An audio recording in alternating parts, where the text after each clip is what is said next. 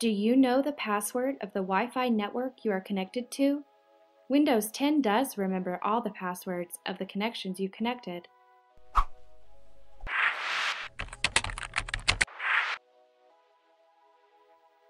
To see the password of the Wi-Fi to which you are connected right now, follow these simple steps. Open the control panel and access the Network and Sharing Center.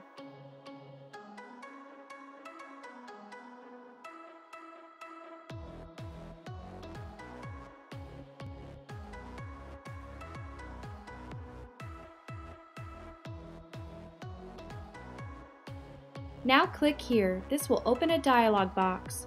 Now click on Wireless Properties and press the Security button. Just click on Show Characters and it will show you the password of your current connection.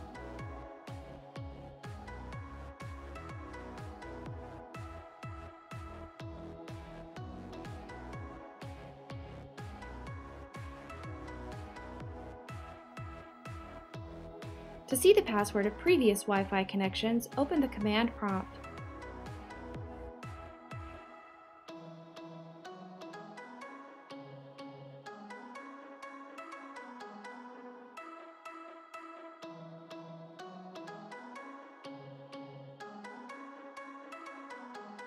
Type the following code and hit enter.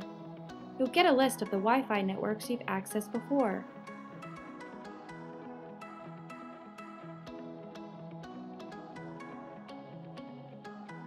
To find the password for one of the profiles, type in the following replacing profile name with the name of the profile.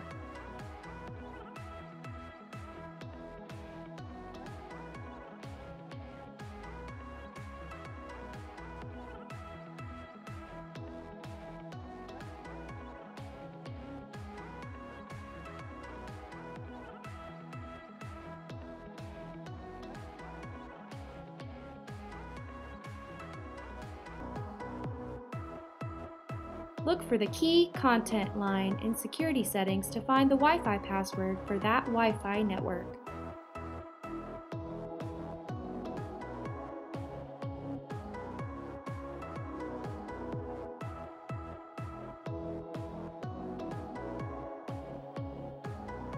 If this video helped you, please like and subscribe to our channel.